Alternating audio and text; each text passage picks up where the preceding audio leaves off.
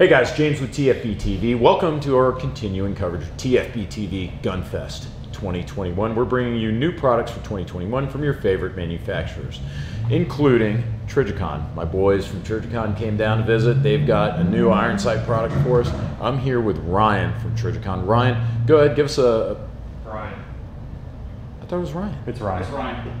Oh, it's the same. You said Brian and then Ryan. No, you're f***ing drunk. And I was. I was. Hey guys, James Reeves with TFB TV. You're watching our continuing coverage of TFB TV Gunfest 2021. We're bringing you new products from your favorite manufacturers.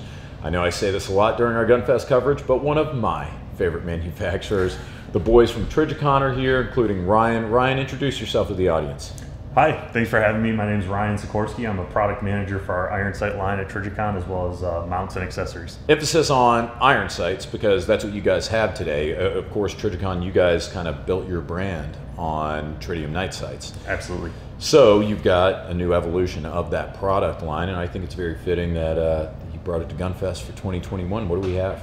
Absolutely. So this is our new Trijicon DI night sight. So you're absolutely correct. The company was founded. One of the first products that we came out with was the original Bright and Tough night sights. We were one of the first companies to start putting tritium in night sight or in iron sight products. And now, uh, a little over 40 or about 40 years later, uh, we've have the next evolution of iron sights, which is our DI night sights. And what this is going to be is a dual illuminated tritium fiber front sight uh, with a tritium only rear sight. And we've packed some really cool features into a very small package here. And starting with the brightness. So we try to, everything we do, we try and make it as bright as possible to make it as usable in any lighting conditions as an end user would find themselves in. So we have our typical standard tritium vial in the back half of this front sight, and then we have a, uh, a, a fiber piece in the front that's actually finished with the same polishing technique that we use on our ACOG fibers that we've been Oh, making cool. for many, many years now that everybody knows from Oh, the yeah, military sure. and Yeah. everywhere else. So that's one cool feature of this product. The other cool feature of this that we really th- think differentiates this product from anything else that's out on the market is that this fiber is actually user replaceable. Oh, okay. So the the way that this is designed is that the front outline is actually not painted, it's a retainer. Mm-hmm. So it's a threaded retainer that if something does happen to the fiber, an end user can simply take the tools that we provide them, quickly unscrew that front retainer, pop out any lost or damaged fibers, anything that's left in there, pop a new fiber in, and tighten that back down and start and they're right back up and running. Ryan, walk me through that real quick. Am I like literally, am I taking like a Leatherman and, and tweaking this thing? I'm just trying to visualize the threads. I'm, I'm like turning this, how does this work? So this interface is really hard to see in there, but there's actually a T10 Torx interface in that front I don't believe you. Oh Yep. yeah, there it is. There it is. Yeah. Absolutely. So we actually provide an L key with all the sets of sights that fits right in there, Mm-hmm. and you just un, you just loosen that right up. It comes right out. It takes about five minutes to pop that retainer out, pull the fiber out, and put a new piece in. See, that makes sense. It's funny. I was like trying to visualize as you were describing it, and you really have to kind of like turn it. It's- it's I mean, very, it very is small. Yeah, yeah. It's small and it's like machine, neatly machined in there. You wouldn't Absolutely. even know it existed. Talk to me about the rear sights. You guys went with like a U notch, which is kind of cool. We did.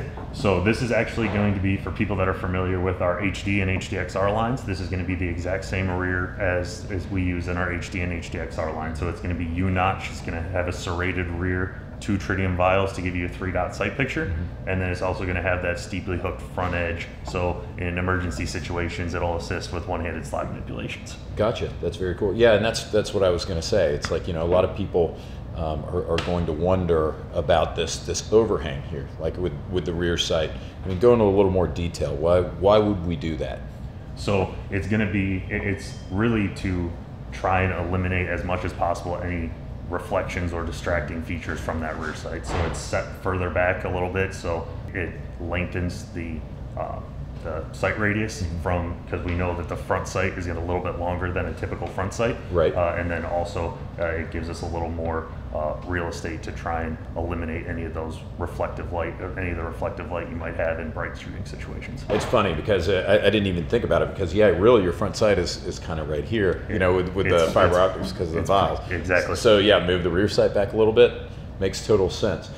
How much are these going to cost as a set? So full retail on the sets for all nine uh, nine SKUs that we're coming out with is going to be $150 full retail, uh, and then we'll have multiple. We'll have a full range of accessories that are include retainers and fiber uh, fiber pieces that'll range anywhere from about $15 all the way up to $50 depending on the combination of fibers and retainers. I see, and uh, obviously you're going to have. I'm going to see red. I'm going to see yellow. I'm going to see orange, right? Ex- exactly. So we're actually uh, we're gonna have um, four different colors of fiber. We'll have green, amber, orange, and red available at the time of launch, and then we'll also have uh, different colored retainers as well. So you see uh, that comes the black in this sight that comes standard. We'll also have uh, a white option, a yellow option, and an orange. And you're talking well. about the little thing where you're ta- that you Yeah, unscrew. you Yeah, unscrew. see, it's brilliant. You can get a little bit more cr- uh, contrast there. Exactly. You So you can really just buy one set of sights and set the sights up. You don't have to buy multiple sets of sights to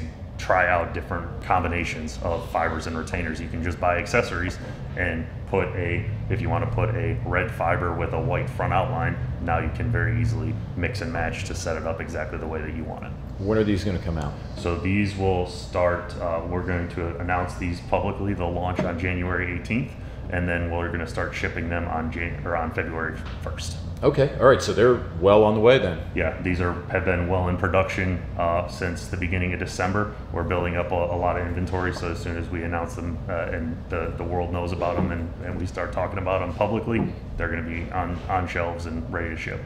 Like it or not, many people consider you guys to be the top dog in terms of iron sights and, of course, tritium iron sights. So this is an exciting development. I think that there are going to be a lot of people out there who are particularly thrilled to be able to get this and at a price point that kind of matches what you guys are, are usually selling your sights for. If I want to buy just the front sight by itself, theoretically, can I do that? Absolutely. Absolutely. Um, we'll, we'll have the front sights set up um, in our system available at the same time that the sets launch. We have those available, they're packed out as well. Uh, so if people have HDs or HDXRs and want to buy just the front sights and update their set to try this new option, that's something that they absolutely absolutely can do. And what's the price difference going to be there? Like if I just if I didn't want the rear sight. If you didn't want the rear sight, the front sight is going to be $99. Okay, all right. I mean, spring your extra fifty bucks and just get the whole son Exactly. of a bitch, right? Exactly. Yeah. And last question: If I, uh, I guess if I take this slide up, I flip it over, I'm probably going to see like typically what I see with Trijicon, especially like with this uh, with Glock, and that is there's there's going to be like a little nut under there or something, and it's threaded. Yep. Is that how we're going to do this? Yep. So for all Glock sights, that's how the front sights attach, and then all the other manufacturers, Sig, Springfield, um, Sig, Springfield, uh, and Smith and Wesson will also have sights for those. Will all be dovetailed. Okay, so and then that's the complete list of at, at least for now who you're For going now. to be making it for. So it's going to be like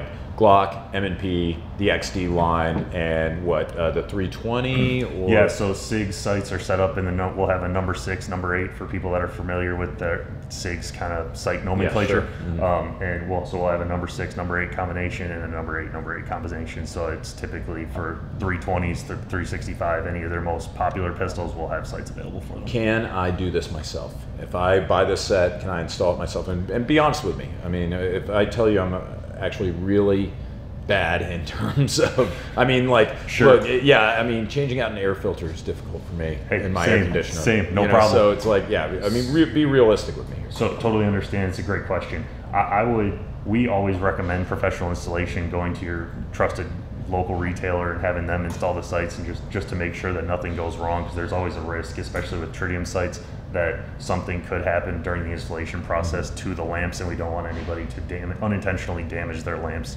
and potentially put themselves in a position with defective sights. So um, most of most people that sell our sights are very familiar, familiar with the process of installing sights correct, the correct way so that they don't break vials.